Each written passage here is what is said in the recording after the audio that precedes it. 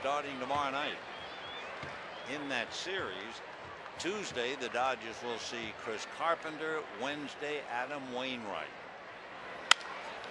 Hot up the middle, behind the bag is DeWitt. Double clutches, throws him out.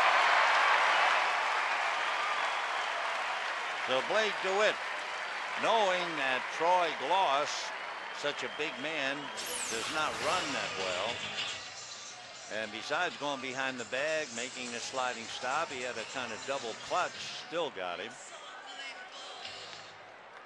Two down, 10th inning. Number one, Gregor Blanco. Gregor Blanco will come up. Remember, he took over in left field for Eric